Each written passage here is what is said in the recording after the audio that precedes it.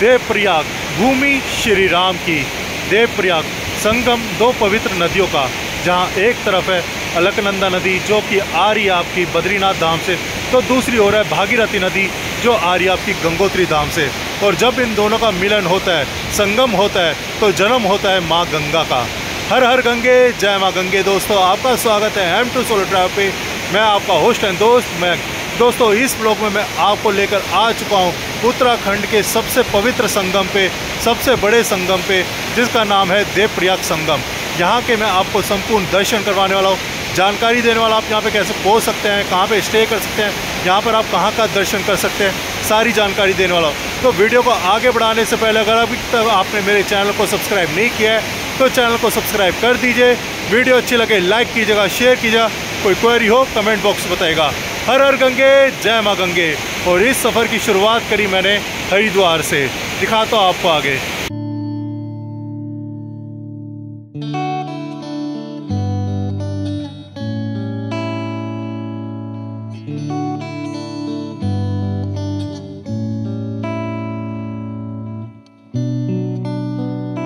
तो दोस्तों, सबसे पहले बात करते कि हम देवप्रयाग पहुँच के रह सकते हैं। देवप्रयाग पहुँचने का जो नियरेस्ट रेलवे स्टेशन है, वो है योग नगरी ऋषिकेश, जिसका कोड है वाई एन आर के योग नगरी ऋषिकेश रेलवे स्टेशन से देवप्रयाग जो है करीब 70 किलोमीटर है, जिसको आपको बाय बस ही कवर करना पड़ेगा।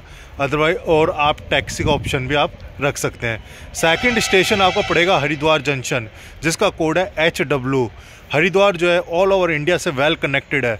अगर आपको ऋषिकेश के लिए ट्रेन मिल जाती है तो बढ़िया है, नहीं तो आप हरिद्वार आ सकते हैं। हरिद्वार से आप ऋषिकेश जा सकते हैं और ऋषिकेश से आपको लगातार बसेस आपको मिल जाएँगी देवप्रयाग के लिए। सेकंड ऑप्शन है बाय एयर का। देवप्रयाग का जो नियरेस्ट एयरपोर्ट है, वो है जॉली ग्रांट एयरपोर्ट जो कि देवप्रयाग से करीब 90 किलोमीटर्स दूर है। वो भी आपको बाय टैक्सी और बाय बस ही कवर करना पड़ेगा और कोई ऑप्शन आपका नहीं है। थर्ड है आपको बाय कार या अपने ट्रांसपोर्ट से आ रहे हैं तो रोड की कंडीशंस काफ़ी अच्छी है और आप जो है बाय रोड जो है ईज़िली देवप्रयाग कवर कर सकते हैं। बाकी मैंने जो सफ़र करा है, मैं दिल्ली से पहले हरिद्वार आया हूँ, वो मैंने आपको लास्ट ब्लॉग में बताया, मैं दिल्ली से हरिद्वार कैसे आया, कौन सी ट्रेन से आया। अब यहाँ से जो है मैं ऋषिकेश जाने वाला हूँ और फिर ऋषिकेश से देवप्रयाग के लिए बस पकड़ने वाला हूँ। और अगर आप लोग हरिद्वार जंक्शन उतरते हैं तो ही आपको बस अड्डा मिल जाएगा जहाँ से आपको ईजिली ऋषिकेश के लिए लगातार आपको बसेस मिल जाएँगी और डायरेक्ट बस भी मिल सकती है आपको देवप्रयाग के लिए। साथ ही साथ यहाँ से प्राइवेट बसेस भी चलती है सुबह पाँच बजे के बाद, वो उससे भी आप ईजिली देवप्रयाग पहुँच सकते हैं। बाकी आपको ओली जोशीमठ रुद्रप्रयाग, गोपेश्वर, चमोली, उत्तरकाशी, कहीं पे भी जाना है तो आपको ऋषिकेश या हरिद्वार ही आना पड़ेगा। यहाँ से आपको बसेस मिल जाएँगी। तो चलिए, लेके चलता हूँ आपको। आगे का सफ़र दिखाता हूँ। और इस समय मैं हूँ हरिद्वार रेलवे स्टेशन पे। या आप मेरे पीछे देख रहे हैं।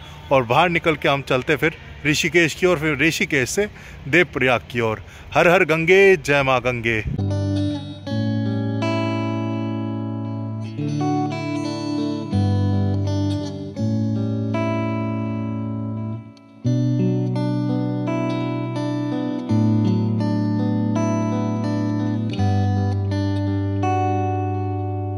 आप रेलवे स्टेशन और ठीक बिल्कुल उसके बाहर ही है आपका रोडवेज़ बस अड्डा।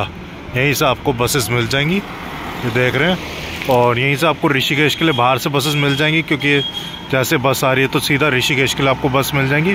और आपको अंदर और कहीं जाना तो अंदर से आपको वहाँ के लिए बसेस मिल जाएँगी। ये देख रहे आप। ये आप देख रहे हैं, ये प्राइवेट बसेस खड़ी हुई हैं जो कि पहाड़ों की ओर जाती हैं। यहाँ से रुद्रप्रयाग गुप्त काशी देवप्रयाग, पौड़ी, यहाँ से आपको श्रीनगर, सब जगह के लिए आपको यहाँ से बसेस मिल जाएँगी। ये प्राइवेट बसेस खड़ी है। बाकी रोडवेज़ बसेस जो है वो आपको अंदर बस स्टैंड से मिल जाएँगी। ये देख रहे हैं आप।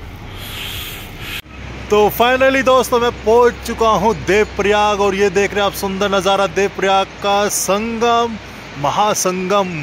और ये पवित्र संगम यहीं से जन्म हुआ माँ गंगा का। डायरेक्ट मैंने हरिद्वार से देवप्रयाग के लिए बस पकड़ ली थी, जिसके फेयर लगा मेरा टू हंड्रेड रुपीज़ मैं प्राइवेट बस से आया और करीब दो घंटे जर्नी करने के बाद, इस सुंदर व्यू इस सुंदर नज़ारे के बाद एक पवित्र दर्शन करने में पहुँच चुका हूँ। चलिए अब आपको नीचे लेके चलता हूँ, नीचे भी दिखाता हूँ, सामने रघुनाथ मंदिर है, वहाँ के दर्शन कराता हूँ, संपूर्ण दर्शन कराता हूँ। तो वीडियो को स्किप मत कीजिएगा, लेके चलता हूँ आपको आगे। ये आप सुंदर नज़ारा देख रहे हैं। देव प्रयाग का बहुत ही सुंदर और अद्भुत नज़ारा। और वो सामने आप देख रहे हैं रघुनाथ मंदिर, जो कि समर्पित है भगवान राम को। और सामने बह रही है बहुत ही शांत स्वभाव से अलकनंदा नदी, और ये रौद्र रूप से बहती हुई भागीरथी नदी। और जब इन दोनों का मिलन हुआ तो जन्म हुआ माँ गंगा का। ये आप देख रहे हैं माँ गंगा।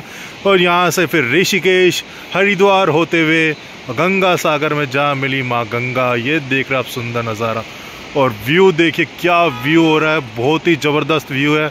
और ये सामने यूनिवर्सिटी बन रही है, और ये छोटा सा शहर बसा हुआ है देव प्रयाग बहुत ही सुंदर व्यू है। देव चलिए, आपको नीचे लेके चलता हूँ। बस जो है आपको बिल्कुल ऑन रोड उतारेगी, यहीं पे उतारेगी और यहीं से ही जो है आप ये पीछे देख रहे प्रवेश द्वार है। आप बस में कंडक्टर भी बोल सकते हैं, आपको संगम पे जाना है ताकि वो आपको यहाँ पे उतार दे। नहीं तो कभी पता चले वो आपको आगे ले जाए और शहर की ओर उतारे। वहाँ से भी आप आ सकते हैं, लेकिन बेस्ट आपका रास्ता यही रहेगा। लेके चलता आपको यहाँ से। ये कुछ इस तरह की आपको स्टेयर्स देखने को मिलेगी नीचे जाने के लिए। और ये आप शोर देख रहे हैं, कितना तेज़ शोर है भागीरथी नदी का। बहुत ही ज़्यादा शोर है, ये देख रहे आप। तो जैसे आप रोड से करीब 50 मीटर नीचे आएँगे तो आप में मेरे पीछे देख रहा तिथि ग्रह एक यह तिथि ग्रह आपको देखने को मिलेगा, साथ ही साथ मेरे पीछे देख रहा आप, वहाँ पे जो है आपको बद्रीनाथ केदारनाथ समिति का भी अपना विश्राम गृह है, वहाँ पे आप रुक सकते हैं। साथ ही साथ अगर भंडारा कराना चाहते हैं, और वहाँ से जो व्यू देखने को मिलता है, वो ज़बरदस्त व्यू होता है, वहाँ से आप आरती देख सकते हैं, और बहुत ही सुंदर नज़ारा है। तो और यहाँ पे जो आपको रूम जो है वो 500 हंड्रेड के रुपीज़ के आसपास आपको मिल जाएगा और सीज़न में शायद हो सकता है अपर भी हो। तो मैं आपको दिखाता हूँ कैसे अपने यहाँ पर आपको दिखाता हूँ एक बार। देख रहे हैं बद्रीनाथ केदारनाथ मंदिर समिति के यात्री निवास है, जहाँ पर आप स्टे कर सकते हैं। और यहाँ पर जो है 500 से, अपना 1500 के बीच में आपको रूम मिल जाएँगे। देख रहे हैं आप। साथ ही आप यहाँ पे भंडारा कुछ कराना चाहते हैं तो वो भी करा सकते हैं। काफ़ी अच्छा अरेंजमेंट है और यहाँ से बैठ के आप सामने का जो व्यू देखेंगे नीचे का, वो भी अद्भुत है यहाँ से देखने को मिलेगा आपको। और एक अतिथि गृह यहीं पर है इसके बगल में ही। आप वहाँ पे भी स्टे कर सकते हैं। इसके भी रूम के जो प्राइजेज़ हैं, वो फाइव हंड्रेड रुपीज़ है। ये सामने आप देख रहे हैं, हरे कलर की बिल्डिंग यहाँ पे भी आप स्टे कर सकते हैं। वैसे लोग जो यहाँ पे स्टे नहीं करते हैं, अपना आते हैं और दर्शन करके सीधा आगे की ओर निकल जाते हैं।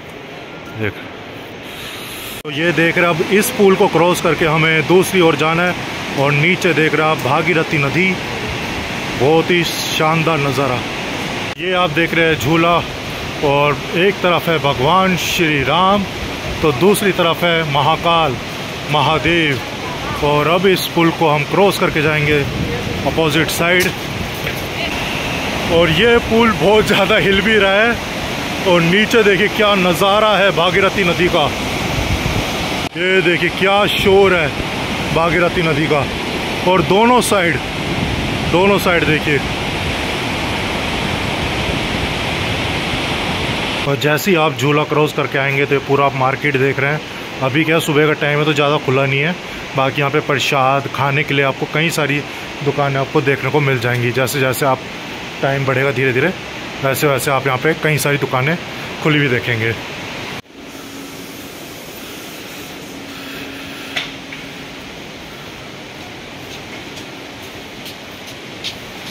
और लीजिए पहुँच गए हम संगम घाट देव प्रयाग ये देख रहे हैं आप।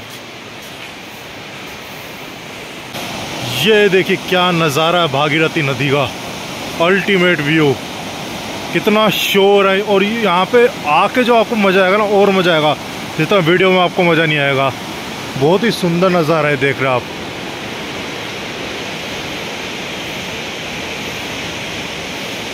यहाँ पर जो है, घाट के पास ही वॉशरूम फैसिलिटीज़ है। बाथरूम बना हुआ है, साथ ही साथ चेंजिंग रूम बना रखा है। जैसे आप यहाँ पे नहाते हैं तो अपना चेंज कर सकते हैं। और साथ ही प्रेयर हॉल है, वो सामने आप देख रहे हैं। पूरा का पूरा। क्षेत्र के लोग भागीरथी नदी को सास और अलकनंदा नदी को भऊ नाम से संबोधित करते हैं, क्योंकि भागीरथी नदी जो है बहुत ही रौद्र रूप से बहती है, बहुत ही तेज़ और अलकनंदा नदी बिल्कुल शांत स्वभाव से दिखाता हूँ मैं आपको। आप देख रहे कितने शांत स्वभाव से बहती हुई अलकनंदा नदी जो आ रही है बद्रीनाथ धाम से, ये देखिए। और दूसरी ओर देखिए क्या रुद्र रूप से बह रही है भागीरथी नदी, जो कि आ रही है गंगोत्री धाम से। ये देखिए, क्या इतना तेज बहाव है उसका और जब इन दोनों का मिलन हुआ तो यहाँ पे दोनों बिल्कुल शांत हो गई और माँ गंगा आगे बढ़ी। ये देख रहे आप।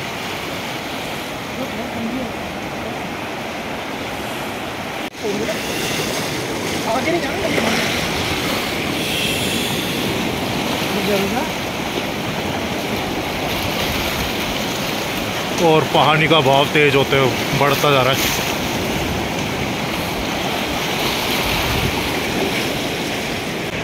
देव प्रयाग सिर्फ़ संगम के लिए ही नहीं, भगवान श्री राम के लिए भी जाना जाता है। जब भगवान श्री राम ने रावण का वध किया था तो ब्राह्मण हत्या से मुक्ति पाने के लिए उन्होंने यहीं पर तपस्या की थी। और यहाँ पर भगवान राम का रघुनाथ मंदिर भी है, वहाँ के भी मैं आपको दर्शन करवाता हूँ। उसकी करीब 101 सीढ़ियाँ चढ़कर आपको ऊपर जाना पड़ेगा, तब आपको भगवान राम के दर्शन होंगे। दिखाता हूँ आपको आगे। और यहाँ पर हनुमान शिला इस शिला पर राम जी की चरण पादुका है। ये देख रहे आप। भगवान श्री राम ने ब्राह्मण हत्या से मुक्ति पाने के लिए, जब रावण का वध किया था तो उससे मुक्ति पाने के लिए इसी शिला पे बैठकर तपस्या करी थी। और ये देख रहे हैं आप, भगवान राम के यहाँ पे पैरों के चिन्हों के निशान हैं, वो भी मैं आपको दिखाता हूँ। और साथ ही इस शिला को जो है, हनुमान शिला कहा जाता है। ये आप देख रहे हैं भगवान श्री राम के चरण पादुका। और ये देख रहे हैं यहाँ पे कई सारे प्राचीन मंदिर है। जो कि आप यहाँ पर पूजा करा सकते हैं। और ये देख रहे हैं यहाँ पे कई सारी प्राचीन गुफाएँ बनी हुई हैं। एक वो सामने आप गुफा देख रहे हैं और एक ये गुफा बनी हुई है श्री गंगेश्वर महादेव की। देख रहे हैं। और ये नज़ारा देख रहे आप, संगम का। चलिए अब आपको दर्शन करवाता हूँ श्री गंगेश्वर महादेव के। और ये देख रहे हैं आप, भोलेनाथ का शिवलिंग और पूरा शिव परिवार देख रहे हैं यहाँ पे। साथ ही हमारे संकट मोचन बालाजी महाराज की जय, नंदी बाबा। और ये देख रहे आप।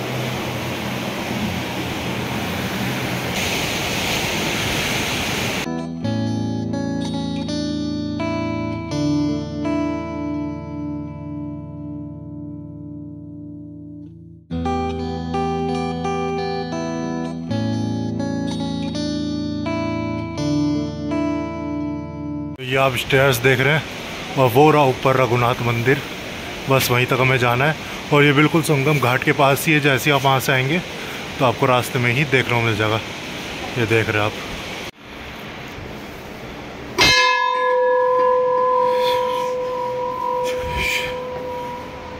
जय श्री राम।